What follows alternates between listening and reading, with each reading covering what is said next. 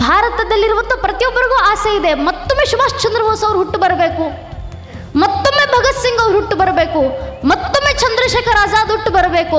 ಮತ್ತೊಮ್ಮೆ ಛತ್ರಪತಿ ಶಿವಾಜಿ ಹುಟ್ಟಿ ಬರಬೇಕು. ಎಲ್ಲಿ ಹುಟ್ಟಬೇಕು ಇವರೆಲ್ಲ ಅಂತ ಕೇಳಿದ್ರೆ ಪಕ್ಕದ ಮನೆಯಲ್ಲಿ ಹುಟ್ಲಿ ಭಗತ್ ಸಿಂಗ್. ಪಕ್ಕದ ಮನೆಯಲ್ಲಿ ಹುಟ್ಲಿ ಚಂದ್ರಶೇಖರ್ ಆಜಾದ್. ಪಕ್ಕದ ಮನೆಯಲ್ಲಿ ಹುಟ್ಟಿ ಸುಭಾಷ್ ಚಂದ್ರ ಬೋಸ್ ಅವರು. ನಮ್ಮ ಮನೆಯಲ್ಲಿರುವಂಥ ಮಕ್ಕಳು ಚೆನ್ನಾಗಿ ಓದಿ ಡಾಕ್ಟ್ರು ಲಾಯರ್ ಇಂಜಿನಿಯರ್ ಆದರೆ ಸಾಕು. ಅದಕ್ಕಿಂತ ದೊಡ್ಡ ಕೆಲಸ ಬೇಡ ನಮಗೆ ಅಂತ. ಆದರೆ ಈ ತಾಯಿಂದರು ಯಾವತ್ತಿಗೂ ಕೂಡ ಹುಟ್ಟುವಂಥ ಭಗತ್ ಸಿಂಗ್ ಮತ್ತೊಮ್ಮೆ ಹುಟ್ಟಿ ಪಕ್ಕದವನ್ನಲ್ಲಿ ಹುಟ್ಟು ಬರಲಿ ಅಂತ ಕೇಳ್ಕೊಳ್ಳಿಲ್ಲ. ಮತ್ತೊಮ್ಮೆ ದೇಶ ಕಾಯಲಿಕ್ಕೆ ನೇತಾಜಿ ಸುಭಾಷ್ ಚಂದ್ರ ಬೋಸ್ ಅವರು ಪಕ್ಕದ ಮನೆಯಲ್ಲಿ ಹುಟ್ಟಲಿ ಅಂತ ಕೇಳ್ಕೊಳ್ಳಿಲ್ಲ. ತಮ್ಮ ಖುದ್ದು ಮಗನನ್ನ ಬಲಿಪೀಠಕ್ಕೇರಿಸಿ ದೇಶ ರಕ್ಷಣೆಗೋಸ್ಕರ ಕಳಿಸಿಕೊಟ್ಟಂತ ಶ್ರೇಷ್ಠ ತಾಯಿದಿರಿ ಇವರೆಲ್ಲ. ಅಂತ ಮಹಾ ತಾಯಿಂದರಿಗೆ ಗೌರವ ಸಲ್ಲಿಸೋದು ನಮ್ಮ ಜವಾಬ್ದಾರಿ. ನಾವು ಮಾಡ್ತಿರುವಂಥ ಸೇವೆ ಅವರಿಗೆ. ನೇತಾಜಿ ಸುಭಾಷ್ ಚಂದ್ರ ಬೋಸ್ ಅವರ ಜಯಂತಿಯನ್ನು ಆಚರಿಸಬೇಕಾದ್ರೆಲ್ಲ ಖಂಡಿತವಾಗಲೂ ಎಲ್ಲೋ ಒಂದು ಕಡೆ ನೋವಾಗುತ್ತೆ ನನ್ನ ನೆಚ್ಚಿನ ಬಂಧುಗಳೇ. ಏನಕ್ಕೆ ಅಂತ ಕೇಳಿದ್ರೆ, ಭಾರತೀಯರು ಇತಿಹಾಸದುದ್ದಕ್ಕೂ ಮಾಡಿರುವಂಥ ಒಂದು ತಪ್ಪು. ನಮ್ಮ ನಾಯಕರನ್ನ ಆಯ್ಕೆ ಮಾಡೋದ್ರಲ್ಲಿ ಎಡವಿದ್ದೀವಿ ನಾವು. ನೇತಾಜಿ ಸುಭಾಷ್ ಚಂದ್ರ ಬೋಸ್ ಅವರಿಗೆ ಅನ್ಯಾಯ ಮಾಡಿರೋದ್ರಲ್ಲಿ ಪಾಲು ನನ್ನದೂ ಇದೆ, ನಿಮ್ಮದೂ ಇದೆ. ಆಗಿನ ದೇಶವನ್ನು ನಡೆಸಿದಂಥ ನಾಯಕರದ್ದು ಇದೆ, ಸರ್ಕಾರದ್ದು ಆಗಿನ ಕಾಲದದ್ದು ಇದೆ. ಏನಕ್ಕೆ ಈ ಮಾತನ್ನು ಹೇಳ್ತಾ ಇದ್ದೀನಿ ಅಂದರೆ, ನಮ್ಮ ನಾಯಕರು ಎಂಥವ್ರನ್ನ ಆಯ್ಕೆ ಮಾಡ್ಕೊಬೇಕಿತ್ತು ನಾವು? ನೇತಾಜಿ ಸುಭಾಷ್ ಚಂದ್ರ ಬೋಸ್ ಅವರು ಅಂಡಮಾನ್ ಮತ್ತು ನಿಕೋಬಾರ್ನ ಗೆದ್ದ ನಂತರ ಅಂಡಮಾನ್ ನಿಕೋ ಅಂಡಮಾನ್ನಲ್ಲಿದ್ದಂಥ ಕಾಲಾಪಾನಿ ಜೈಲಿಗೆ ಹೋಗಿ ನೋಡ್ಕೊ ಬರ್ತಾರೆ. ಇಡೀ ಕಾಲಾಪಾನಿ ಜೈಲನ್ನು ಸುತ್ತಿ ಬಂದು ಆ ಕಾಲಾಪಾನಿ ಜೈಲಿನ ಹೊರಗಡೆ ನಿಂತು ಆ ಜೈಲಿಗೊಂದು ಸಲ್ಯೂಟ್ ಹೊಡಿತಾರೆ. ಏನಕ್ಕೆ ಗೊತ್ತೇ? ಸುಭಾಷ್ ಚಂದ್ರ ಬೋಸ್ ಅವರು ಹೇಳ್ತಾರೆ ಇಲ್ಲಿರುವಂತೆ ಜೈಲು ಸಾಮಾನ್ಯದಲ್ಲ, ಈ ದೇಶಕ್ಕೋಸ್ಕರ ಸರ್ವಸ್ವವನ್ನು ಅರ್ಪಣೆ ಮಾಡಿ, ಕೊನೆಗೊಂದು ದಿನ ದೇಶಕ್ಕೋಸ್ಕರ ಇಲ್ಲಿ ಬಂದು ತಮ್ಮ ಜೀವನವನ್ನು ಸವಿಸಿದಂಥ ಸಾವಿರಾರು ಜನ ಕ್ರಾಂತಿಕಾರಿಗಳು ಇದ್ದೋದಂಥ ಪುಣ್ಯಕ್ಷೇತ್ರ ಕಾಲಾಪಾನಿ ಜೈಲು, ಅದಕ್ಕೆ ಒಂದು ಸಲ್ಯೂಟ್ ಹೊಡೆದೆ ಅಂತ ಹೇಳ್ತಾರೆ ಅಂತಹ ನಾಯಕರು ಅಂಥವರು ನಮ್ಮ ದೇಶದ ನಾಯಕರಾಗಬೇಕಿತ್ತು. ಆದರೆ ನಾವು ಆಯ್ಕೆ ಮಾಡಿಕೊಂಡಂಥ ನಾಯಕರು ಯಾರು? ಅದೇ ಕಾಲಾಪಾನಿ ಜೈಲಿರುವಂಥ ಜಾಗದಲ್ಲಿ ಕಾಲಾಪಾನಿ ಜೈಲನ್ನ ನಾಶ ಮಾಡಿ ಅಲ್ಲೊಂದು ಆಸ್ಪತ್ರೆ ಕಟ್ಟಿಸ್ಬೇಕು ಏನಕ್ಕಂದ್ರೆ ಮುಂದೆ ಬರುವಂಥ ಪೀಳಿಗೆಗೆ ಕ್ರಾಂತಿಕಾರಿ ಕ್ರಾಂತಿಕಾರಿಗಳ ಸುಳಿವು ಸಹ ಸಿಗಬಾರ್ದು ಅಂತ ಹೇಳಿದಂಥ ನಾಯಕರನ್ನ ಆಯ್ಕೆ ಮಾಡ್ಕೊಂಡ್ವಿ ನಾವು. ಸುಭಾಷ್ ಚಂದ್ರ ಬೋಸ್ ಅವರನ್ನ ಆಗ್ಲೇ ಅಣ್ಣವ್ರು ಮಾತಾಡ್ತಾ ಇರ್ಬೇಕಾದ್ರೆ ಹೇಳಿದ್ರು, ಬಹಳ ಹೆಮ್ಮೆ ಆಯ್ತು ಕೇಳಿದಾಗ. ಯಾವ ಮಾತು? ಭಾರತದ ಪ್ರಪ್ರಥಮ ಪ್ರಧಾನಮಂತ್ರಿ ಯಾರು ಅಂತ ಕೇಳಿದ್ರೆ ಪ್ರತಿಯೊಬ್ಬ ರಾಷ್ಟ್ರಭಕ್ತ ಹೇಳುವಂತ ಮಾತು ಅದು ನೇಚಾದಿ ಸುಭಾಷ್ ಚಂದ್ರ ಬೋಸ್ ಅವರಂತ. ನಮ್ಮ ಪ್ರಕಾರ ಅವರು ಪ್ರಥಮ ಪ್ರಧಾನಮಂತ್ರಿ. ಏನಕ್ಕೆ ಪ್ರಥಮ ಪ್ರಧಾನಮಂತ್ರಿ? ಸುಮ್ಮನೆ ಹೇಳ್ತಾ ಇರೋದಲ್ಲ. ಗಾಳಿನಲ್ಲಿ ಮಾತು ಹೇಳ್ದಂಗಲ್ಲ. ಏನಕ್ಕೆ ಅವರನ್ನ ಮೊದಲನೇ ಪ್ರಧಾನಮಂತ್ರಿ ಕರೆಯೋ ಅಂತ ಕರೆಯೋದು ಅಂದರೆ, ಕೇವಲ ಭಾರತ ಅಲ್ಲ, ಸ್ವತಃ ಸುಭಾಷ್ ಚಂದ್ರ ಬೋಸ್ ಅವರು ಇಂಡಿಯನ್ ನ್ಯಾಷನಲ್ ಆರ್ಮಿಯನ್ನು ನಿರ್ಮಿಸಿದ ನಂತರ ಜಗತ್ತಿನ ಒಂಬತ್ತು ದೇಶಗಳು ಸುಭಾಷ್ ಚಂದ್ರ ಬೋಸ್ ಅವರನ್ನು ಭಾರತದ ಪ್ರಧಾನಮಂತ್ರಿ ಅಂತ ಗುರುತಿಸಿತ್ತು. ಕೇವಲ ಭಾರತ ಅಲ್ಲ, ಒಂಬತ್ತು ದೇಶಗಳು.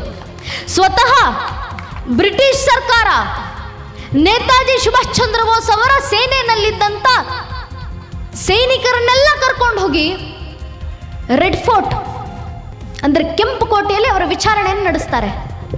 ವಿಚಾರಣೆ ನಡೆಸಿದಾಗ ಬ್ರಿಟಿಷರಿಗೆ ಸ್ಪಷ್ಟವಾಗಿ ತಿಳಿದಿತ್ತು. ಐ ಎನ್ ಎಲ್ಲಿ ದೇಶಕ್ಕೋಸ್ಕರ ಕೆಲಸ ಮಾಡಿದಂಥ ಎಲ್ಲ ಕ್ರಾಂತಿಕಾರಿಗಳು, ಎಲ್ಲ ಸೈನಿಕರನ್ನು ಗಲ್ಲಿಗೇರಿಸಬೇಕು ಬ್ರಿಟಿಷರಿಗೆ ಸ್ಪಷ್ಟವಾಗಿ ತಿಳಿಸ್ದಿತ್ತು. ಆದರೆ ಏನಕ್ಕೆ ಗಲ್ಲಿಗೇರಿಸಲಿಲ್ಲ ಏನಕ್ಕೆ ಅಂತ ಕೇಳಿದಾಗ ಬ್ರಿಟಿಷರು ಉತ್ತರ ಕೊಡ್ತಾರೆ, ನಾವು ಗಲ್ಲಿಗೇರಿಸೋದಿದ್ದರೆ ಕ್ರಾಂತಿಕಾರಿಗಳನ್ನು ಗಲ್ಲಿಗೇರಿಸ್ಬೋದಿತ್ತು ಇರುವಂತ ಬ್ರಿಟಿಷ್ ರಾಜ್ಯವನ್ನ, ನಮ್ಮ ರಾಣಿಯನ್ನ ಅವಮಾನಿಸಿ, ನಮ್ಮ ವಿರುದ್ಧವಾಗಿ ಕೆಲಸ ಮಾಡಿದ್ದಾರೆ, ದಂಗೆ ಹೇಳಿದ್ದಾರೆ, ಅದಕ್ಕೋಸ್ಕರ ಇವರನ್ನ ಗಲ್ಲಿಗೇರಿಸ್ತಾ ಇದ್ದೀವಿ ಅಂತ ಬೇರೆ ಕ್ರಾಂತಿಕಾರಿಗಳನ್ನೆಲ್ಲ ಗಲ್ಲಿಗೇರಿಸ್ಬೋದಿತ್ತು. ಆದರೆ ನೇತಾಜಿ ಸುಭಾಷ್ ಚಂದ್ರ ಬೋಸ್ ಅವರ ಇಂಡಿಯನ್ ನ್ಯಾಷನಲ್ ಆರ್ಮಿಯ ಸೈನಿಕರು ಸಾಮಾನ್ಯ ಕ್ರಾಂತಿಕಾರಿಗಳಲ್ಲ, ಅಧಿಕೃತವಾಗಿ ಒಂಬತ್ತು ದೇಶಗಳಿಂದ ಒಂದು ಪಕ್ಷ ಅಂತ ಗುರುತಿಸಿಕೊಂಡಿರುವಂತ ಪ್ರಧಾನಮಂತ್ರಿ ಸುಭಾಷ್ ಚಂದ್ರ ಬೋಸ್ ಅವರ ಕೈ ಕೆಳಗೆ ಕೆಲಸ ಮಾಡ್ತಾ ಇರುವಂತ ರಾಜಕೀಯ ಅದಕ್ಕೆ ಅವ್ರನ್ನ ಗಲ್ಲಿಗೇರಿಸ್ಲಿಕ್ಕೆ ಆಗ್ಲಿಲ್ಲ ಅಂತ ಹೇಳಿದ್ರು.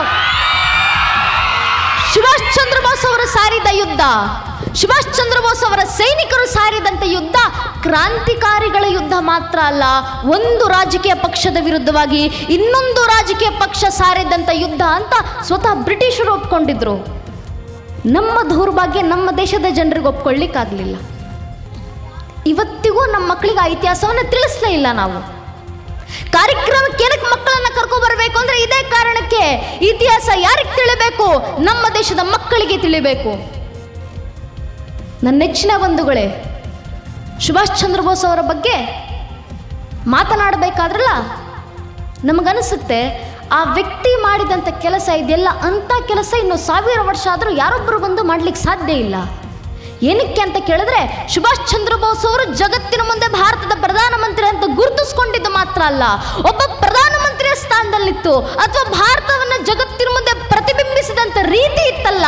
ಎಷ್ಟು ಶೆಟ್ಟು ರೂಪದಲ್ಲಿ ಭಾರತವನ್ನು ಪ್ರತಿಬಿಂಬಿಸಿದ್ರು ಸುಭಾಷ್ ಚಂದ್ರ ಬೋಸ್ ಅವರು ಅಂತ ಕೇಳಿದ್ರೆ ಆಗಿನ ಕಾಲದ ಹಿಟ್ಲರ್ ಇಡೀ ಜಗತ್ತು ಯಾರ ಹೆಸರನ್ನ ಕೇಳಿದ್ರೆ ನಡುಗ್ತಾ ಇತ್ತು ಅಂತ ದಂಡ ನಾಯಕ ಹಿಟ್ಲರ್ನ ಮುಂದೆ ಹೋಗಿ ಸುಭಾಷ್ ಚಂದ್ರ ಬೋಸ್ ಅವರು ನಿಂತ್ಕೊಂತಾರೆ. ಸುಭಾಷ್ ಚಂದ್ರ ಬೋಸ್ ಅವರ ಮಾತುಗಳನ್ನು ಕೇಳಿ ಹಿಟ್ಲರ್ ಮೆಚ್ಚಿಕೊಂಡು ಹೇಳ್ತಾರೆ ನಿಮ್ಮ ಮಾತುಗಳನ್ನು ಕೇಳ್ತಾ ಇದ್ದರೆ ಕ್ರಾಂತಿಯ ಛಲ ಅರ್ಥ ಆಗುತ್ತೆ ನನಗೆ. ನೀವು ಕ್ರಾಂತಿ ಮಾಡಬೇಕು ಅಂತಿದ್ದೀರಾ? ಆದ್ದರಿಂದ ನಿಮ್ಮ ಇಂಡಿಯನ್ ನ್ಯಾಷನಲ್ ಆರ್ಮಿಯನ್ನು ನಿರ್ಮಿಸಲಿಕ್ಕೆ ನಿಮಗೆ ಬೇಕಾದಂಥ ಆರ್ಥಿಕ ಸಹಾಯವನ್ನು ನಾನು ಮಾಡ್ತೀನಿ. ಎಷ್ಟು ಹಣ ಬೇಕು ಕೇಳಿ ಅಂತ ಹಿಟ್ಲರ್ ಹೇಳ್ತಾರೆ ಬೇರೆ ಯಾರೇ ಆ ಜಾಗದಲ್ಲಿ ನಿಂತಿದ್ರು, ಹಿಟ್ಲರ್ ಅಂತ ದಂಡನಾಯಕನೇ ನಮಗೆ ಸಹಾಯ ಮಾಡ್ತಾ ಇದ್ದಾರೆ. ಹಿಟ್ಲರ್ ಅಂತ ದಂಡನಾಯಕನೇ ಆರ್ಥಿಕ ಸಹಾಯವನ್ನು ನೀಡ್ತಾ ಇದ್ದಾರೆ.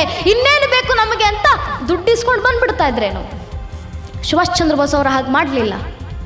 ಸುಭಾಷ್ ಚಂದ್ರ ಬೋಸ್ ಅವರು ದಂಡನಾಯಕ ಹಿಟ್ಲರ್ನ ಮುಂದೆ ನಿಂತು ಕಣ್ಣಲ್ಲಿ ಕಣ್ಣಿಟ್ಟು ಹೇಳ್ತಾರೆ, ಮಿಸ್ಟರ್ ಹಿಟ್ಲರ್, ಇಂಡಿಯನ್ ನ್ಯಾಷನಲ್ ಆರ್ಮಿನ ತಯಾರಿಸಲಿಕ್ಕೆ ನನಗೆ ನಿಮ್ಮ ಹಣ ಬೇಕಾಗಿದೆ ನಿಜ. ಆದರೆ ನೀವು ಕೊಡುವಂತ ಭಿಕ್ಷೆಯ ಅವಶ್ಯಕತೆ ನಮಗಿಲ್ಲ. ಸಾಲವಾಗಿ ನಿಮ್ಮ ಹಣವನ್ನು ಕೊಡಿ. ಭಾರತಕ್ಕೆ